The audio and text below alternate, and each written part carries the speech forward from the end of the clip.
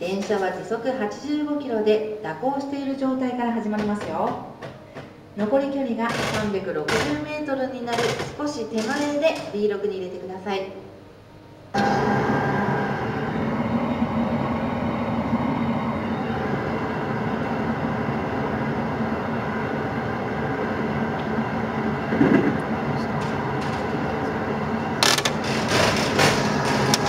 前に止まりそうだったら少しブレーキを緩めましょう。行き過ぎそうだったらもう1段から2段ブレーキを強めにかけましょう。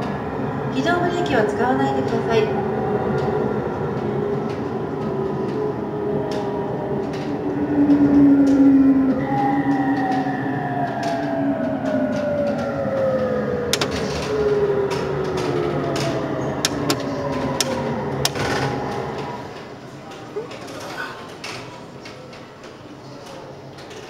すごい。